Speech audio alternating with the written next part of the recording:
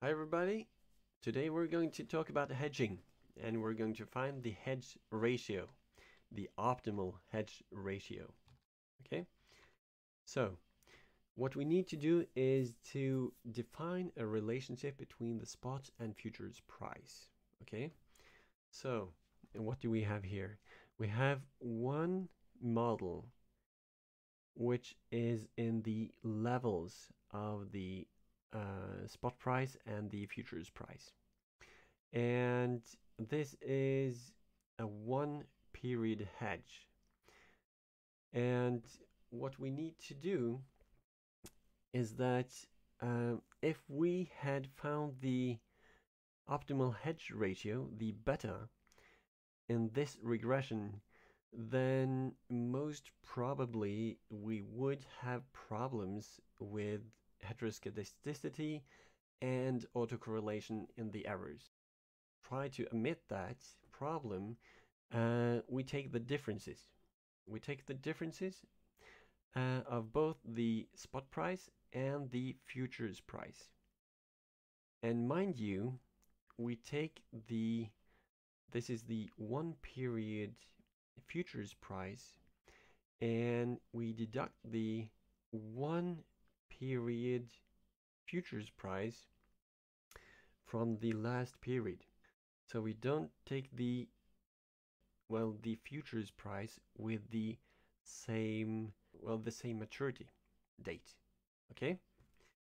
If we do this, uh, we are most probably um, modeling a stationary time series.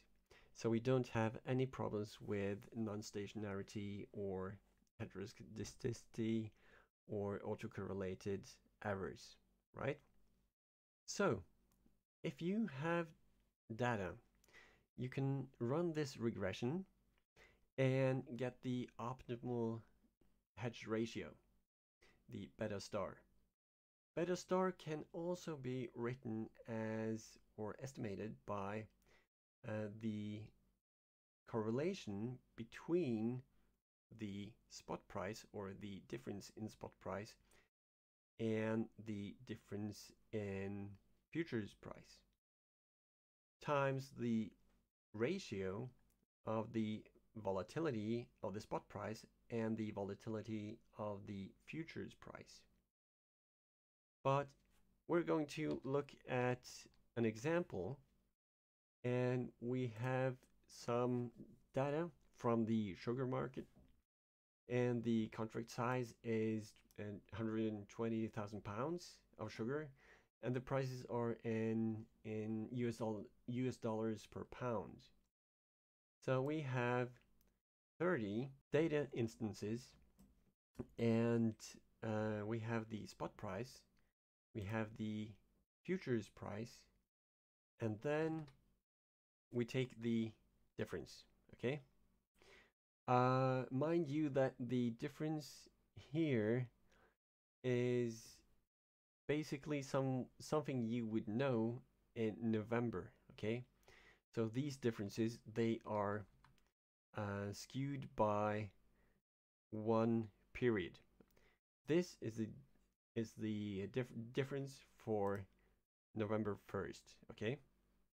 But uh, we don't want a gap here because the regression uh, method in Excel uh, does not cope with uh, missing values very easily.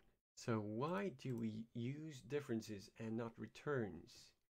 Well, you could use returns, but um, we're trying to model the basis risk in this case. So this model will give us the basis risk uh, at time t minus 1. Okay, so it will give you the basis risk at the instance you are committing to the hedge. For example, if you want 120,000 pounds of sugar in one month, you don't need the hedge ratio if you don't care about the basis risk. You just buy one contract of uh, sugar and sit out.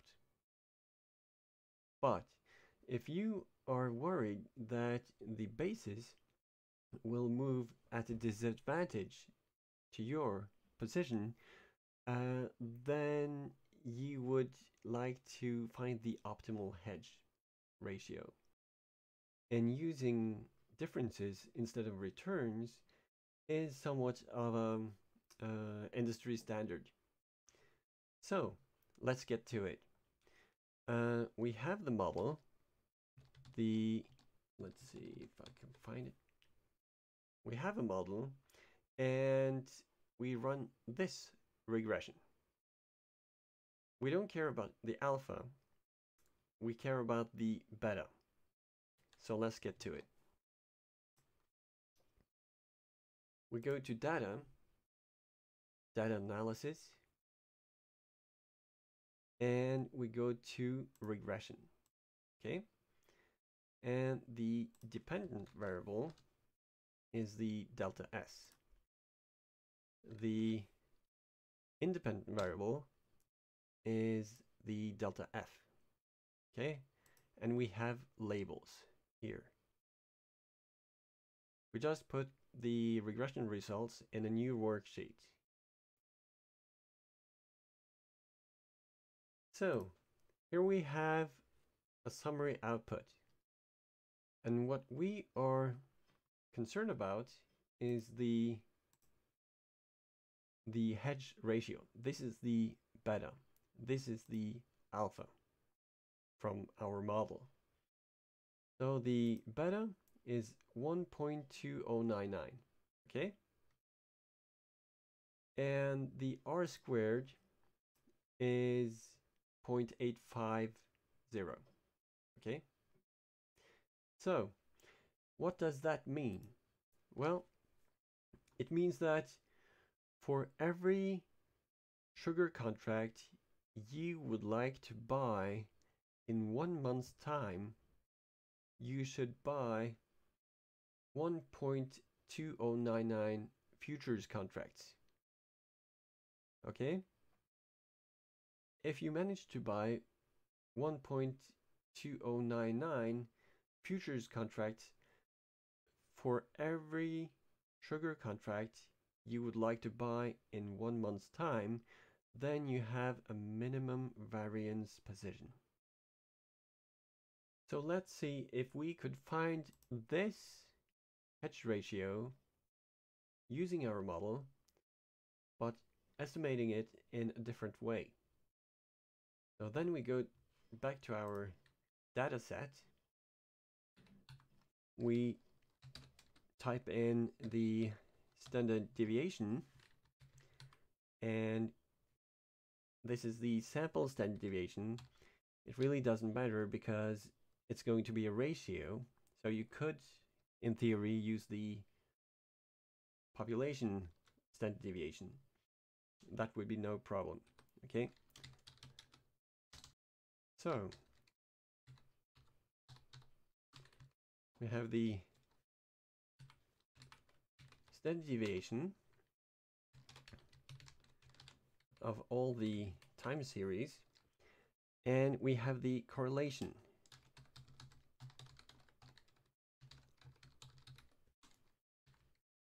between the spot price and the futures price okay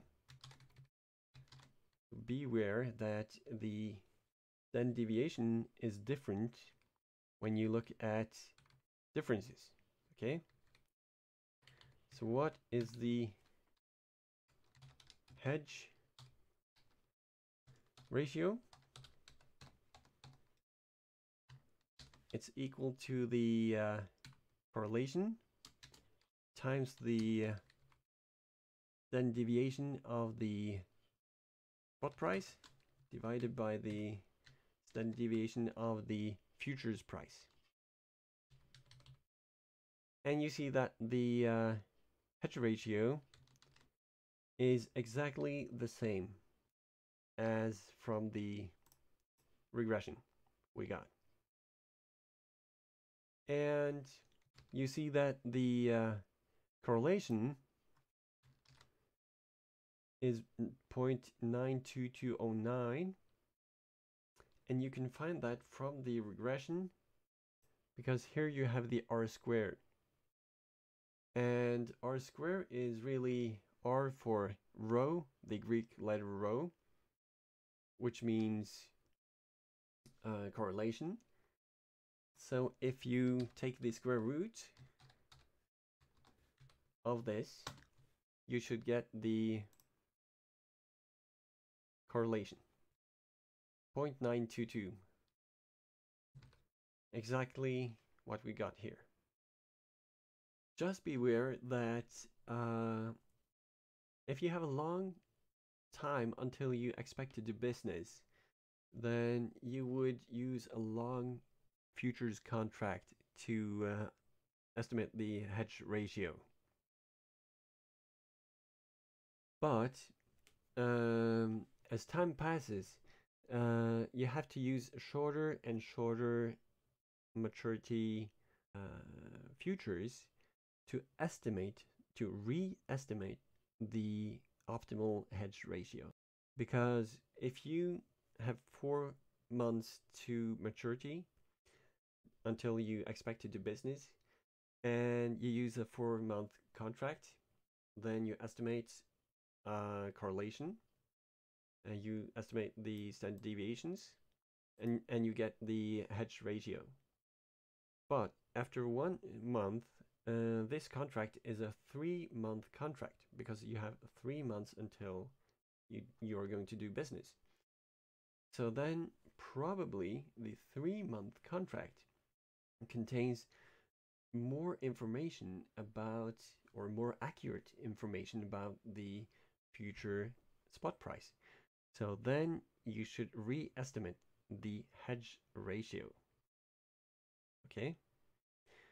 And every month you should do this. Redo the hedge ratio because it's going to be more and more accurate. So I really hope that you got something from this video and take care. Bye.